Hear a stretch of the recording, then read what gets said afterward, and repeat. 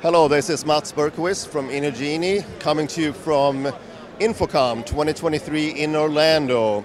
And I'd like to show you uh, two products that we have in our line, which is camera mixers.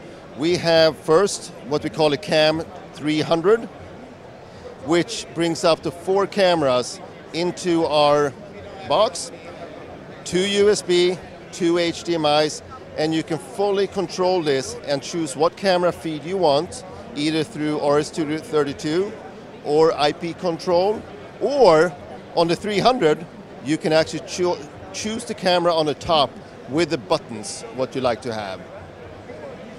Multiple cameras today is where everything is heading to in boardrooms and uh, in classrooms. So it's very important for meeting equity to have more than one camera. So this is our CAM 230. This is our newest product.